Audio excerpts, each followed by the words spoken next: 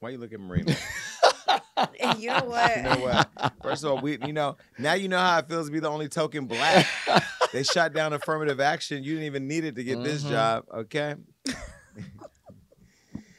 all right, you're more than qualified. All right. Well, look, a white woman's in the news. This is the white woman. Um, she did a racist rant, believe it or not. Now, this is poolside Karen, aka Blair Featherman.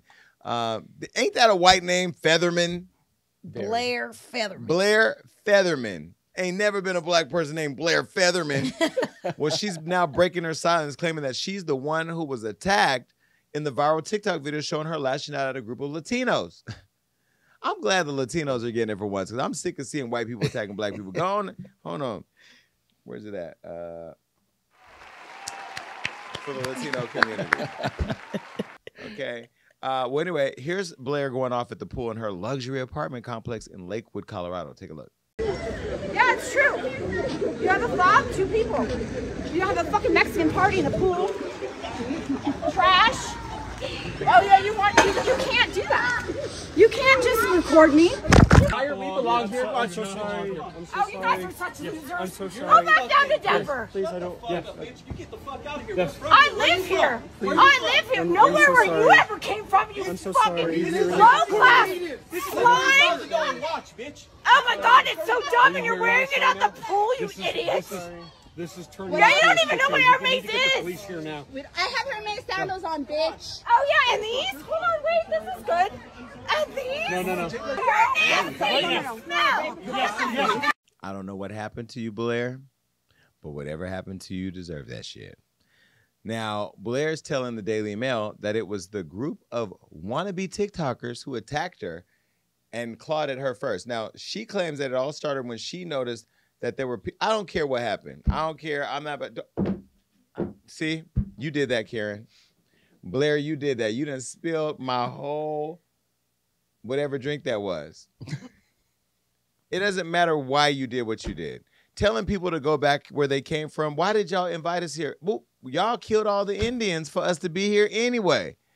It's the lack of history that you all study in this country where you tell people to go back where they came from. Why don't y'all go back where y'all came from? You weren't here first.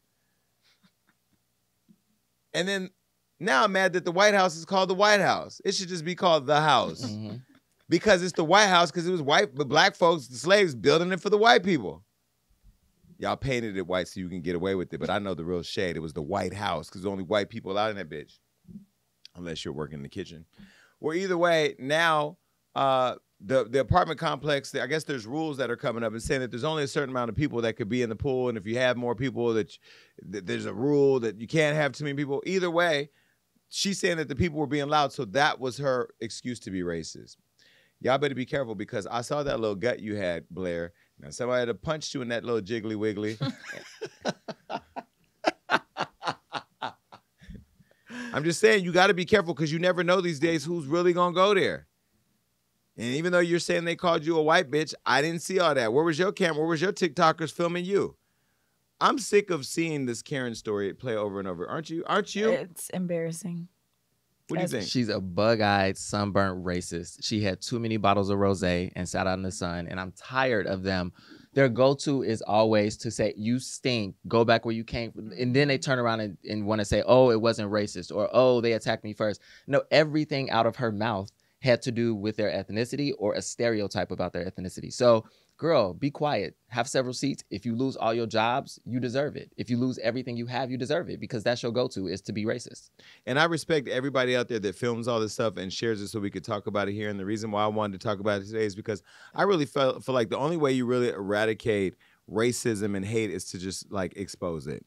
So whoever knows where Blair Featherbender, whatever her name is, wherever she works, can y'all tag her employer below? Can we find her? Let's find Blair and tag her uh, Blair Featherspoon uh, below. Okay. And the, the crazy part is you're like a pretty lady too. She's pretty to me, but then she's so ugly. Like her eyes, now that I look at it, they, she looks evil. Yeah. You look possessed. You look like what Jocelyn. I was gonna say they're ser- they're Right. sharing the same stash or something. Wouldn't we love to see them on the next undercard at a Floyd Mayweather fight? Bye.